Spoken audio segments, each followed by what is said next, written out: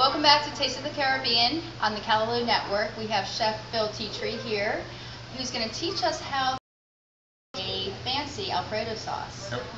Now, an Alfredo sauce is a traditional heavy cream sauce, but you're going to add a little bit of blue cheese today. Yes. Okay. And why are you adding the blue cheese? What's the blue cheese going to add to the Alfredo?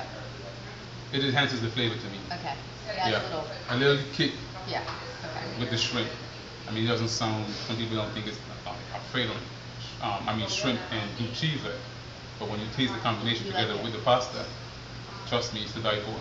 Okay. And that's something we can get here at Reminisce. Yeah, we're here at Reminisce. Okay. Isn't that is it one of your specials? Yes, one of my specials. Okay. All right, so let's get started. So, Okay. what are the main ingredients Main for um, an ingredients. Alfredo sauce? Um, putting Alfredo sauce, Parmesan cheese, Okay.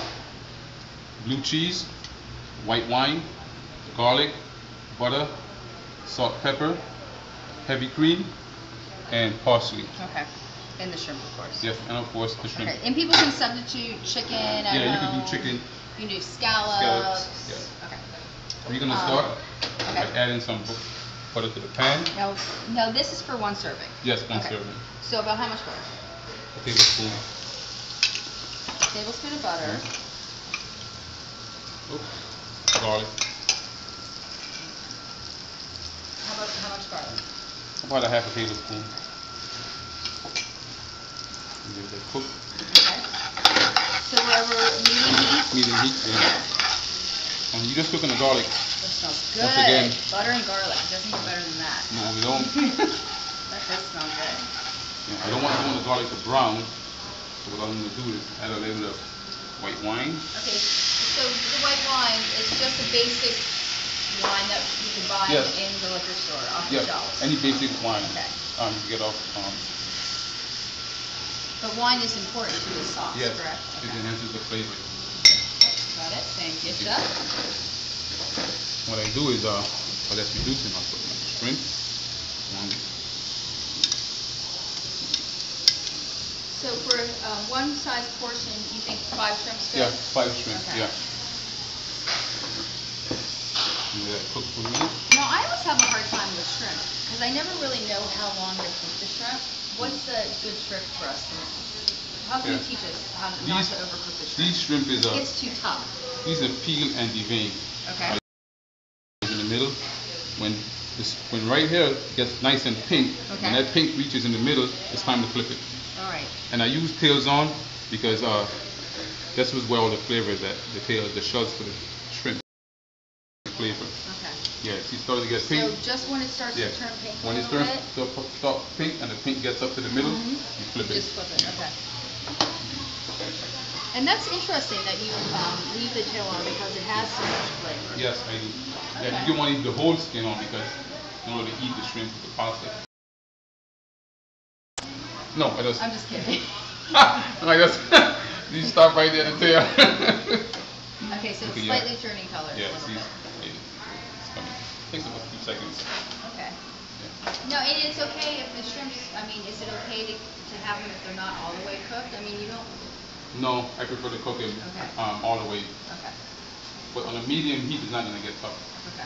Yeah, if you get it on a high heat, see turning pink, you flip it. Up the side. Just flip 'em over. Yeah, just flip them over. You always get the pink right here to the middle. Just flip it. Now, if you would add scallops with this dish, would you cook the scallops with the shrimp? Yes, Or I would you cook it. I will cook it with the shrimp, but I will put the scallops after the shrimp. Okay. At least a few seconds after the shrimp. It's gonna go scallops, faster. okay. Yeah, see it's nice and pink? Mm-hmm. And that wasn't long at all, that was just a couple minutes. A couple seconds it takes. Okay. Smell that, that's really, really It good. does smell good. See how the white wine is Mhm. reduced to Yep. half the amount that it was? That's when I'll uh, add my heavy cream. Okay, so the next, after you saute the Yeah. shrimp, is the heavy cream. Heavy cream, Okay. yeah. And This is about a cup of heavy cream. heavy cream, okay, cup. And I'm gonna do the same thing with the heavy cream. I'm gonna let it cook and reduce to half the amount of the liquid. Okay. And that's when I crumble in my blue cheese and taste it, the flavor, and then add salt and pepper. And how long is that, how long does that usually take This takes to to, reduce it? A couple to minutes? reduce, yeah, about a minute. About a minute it'll maybe less than that. So you- we want to keep a close look on this, then? Yeah, you don't want it to You don't wanna dry up. okay. Yeah, because as it as it reduces with the heavy cream, it gets thick. Okay. Now, you said that today you chose linguine. Now, is there a reason why you chose linguine? Does linguine stick better to like the, the um, heavy cream sauces versus like a penne or a rigatoni? Well, or- it all depends, you know, I think most people that come out here, uh, they also ask for linguine. Okay. Um, you would, we have penne on the menu and angel hair, but I noticed down in the Caribbean, they prefer the linguine. Linguine, okay. Yeah, but nobody's saying that you can't have it with angel hair or penne, so. Right. It's your preference. Well, you kind of associate linguine Yeah. with kind of seafood pastas. Yeah. Yeah. So, um, Parmesan cheese is something that all Alfredo sauces are, that's the ingredient, that's what it's called for. And your twist is the blue cheese. Mhm. Is there, um, another tr- cheese you could add in besides the blue cheese? Um, well, not with the shrimp, when I do the chicken, I add, uh, like smoked grilled, Smoked Gouda. smoked Oh, gouda, okay, yeah. Okay. the, um, When I do chicken, not shrimp. Okay, right. Yeah. It's boiling, starting to reduce. Now, could you That's use Gorgonzola cheese? Yes, you can use gorgonzola cheese Okay. Instead of blue cheese. And for the people at home, Gorgonzola cheese has, it's more of a pungent taste. Yes, yes it Mhm. is. So even if you wanted to kick it up more. Yeah. gorgonzola. See, it's starting to thicken on the edges. Mhm. Yeah. Right here, it's starting to get nice and thick. This is why I add blue cheese. So that's a, yeah, that's a nice amount of blue cheese. Yeah, I'm not gonna use. I'm using about maybe a tablespoon and a half cheese. And blue cheese we can find at most of the stores. Yes, you can. Okay. Most of your local grocery carry the blue cheese. Let's just kind of mix this up a little bit, and you kind of want to have a little bit of um, chunks in there. Okay. You know, so it enhances the flavor when you get into it Mhm. with the pasta. But you still want to break it. Yeah, yeah. What I'm doing, I'm just chopping it a little bit. You want some of it to melt with the sauce. Right. That's what's gonna flavor the sauce. And you see, I leave a little bit of, you know, not too big pieces.